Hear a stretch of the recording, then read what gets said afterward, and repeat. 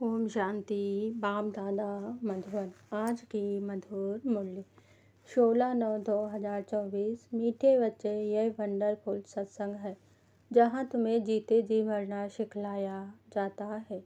जीते जी मरने वाले ही हंस बनते हैं।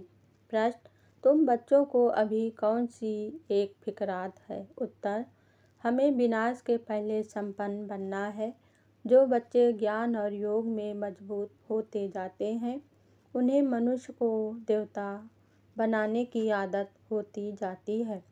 वह सर्विस के बिना रह नहीं सकते हैं, जिनकी तरह भागते रहते हैं। सर्विस के साथ साथ स्वयं को भी संपन्न बनाने की चिंता होगी। ओम शांति।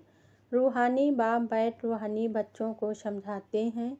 रूह अब साकार में है और फिर प्रजापिता ब्रह्मा की संतान है। क्योंकि एडाप्ट किए हुए हैं, तुम्हारे लिए सब कहते हैं, भाई बहन बनाती हैं। बच्चों को बाप ने समझाया है, असल में हम आत्माएँ भाई भाई हैं। आज की मुरली से मुख्य दस पॉइंट, पहली पॉइंट।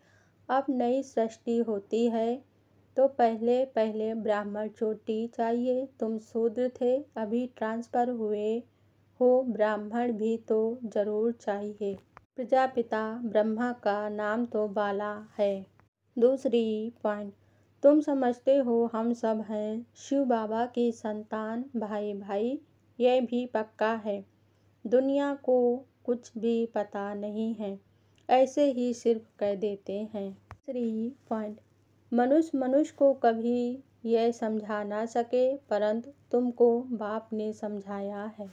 चौथी, पॉइंट। जब तक तुम ब्रह्मा के बच्चे नहीं बने हो, तब तक यहाँ आ नहीं सकते।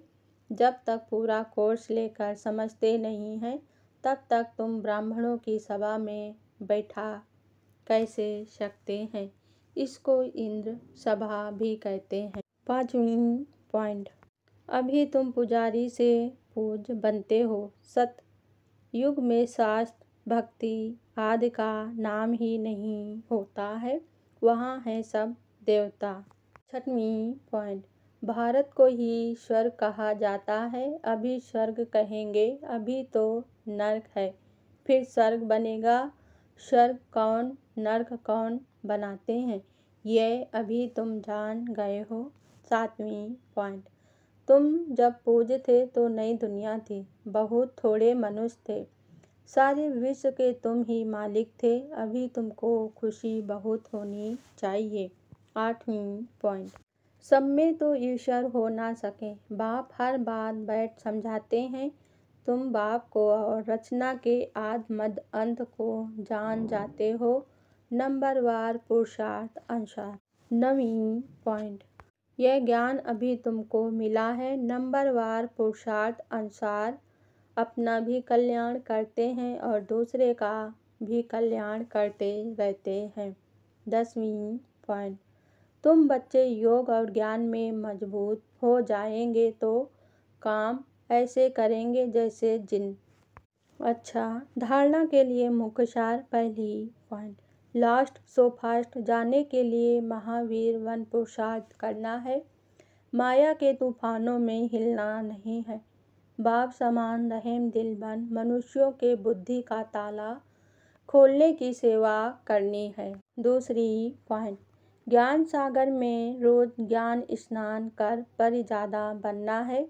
एक दिन भी पढ़ाई मिस नहीं करनी है। भगवान के हम स्टूडेंट हैं, इस नशे में रहना है। वरदान आज बाबा ने दिया, गंभीरता के गुण द्वारा, फुल मार्च जमा करने वाले गंभीरता की देवी व देवता भव। स्पष्टीकरण, वर्तमान समय गंभीरता के गुण की बहुत बहुत आवश्यकता है, क्योंकि बोलने की आदत बहुत हो गई है। जो आता है, वो बोल देते हो। किसी ने कुछ अच्छा काम किया और बोल दिया तो आधा खत्म हो जाता है। आधा ही जमा होता है और जो गंभीर होता है, उसका फूल जमा होता है। इसलिए गंभीरता की देवी व देवता बनो और अपनी फुल मार्च इकट्ठी करो। वर्णन करने से मार्च कम हो जाएगी। स्लोगन आज बाबा ने दिया। बिंदु रूप में स्थित रहो तो समस्याओं को सेकंड में बिंदु लगा सकेंगे। ओम शांति।